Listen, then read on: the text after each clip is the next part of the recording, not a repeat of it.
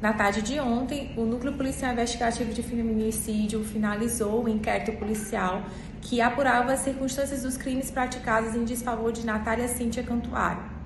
O autor ele foi preso é, preventivamente no dia 31 do mês passado, então tínhamos 10 dias para finalizar o inquérito.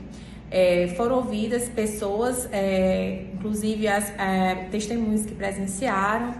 sobretudo a cliente que estava presente no momento dos fatos, o rapaz em que o autor teria né, se utilizado para ter acesso à casa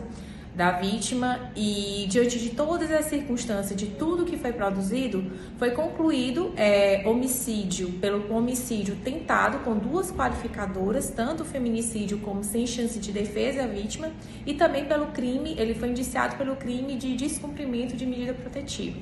então, para o núcleo ficou bastante caracterizado a tentativa de feminicídio, até porque já haviam situações anteriores de violência doméstica familiar. No dia 16 de julho, a vítima teria sido vítima de lesão corporal e ameaça por parte do autor, oportunidade em que pediu medida protetiva. Medida protetiva que, não obstante o autor já tivesse ciência, mesmo assim voltou a procurar a vítima e perpetrou, perpetrou a conduta criminosa né? Sobretudo é, no que tange a questão da tentativa de feminicídio ficou bem claro para a unidade, até porque é, as lesões foram bastante consideráveis, sobretudo na região das pernas da vítima.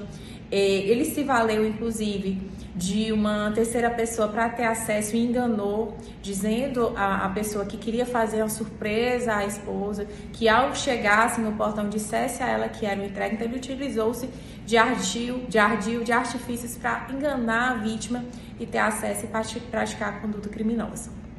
O autor ele continua ainda preso sob é, força de prisão preventiva e estará enquanto estiverem presentes os requisitos, sobretudo no que tange ao risco que a sua liberdade oferece à integridade da vítima.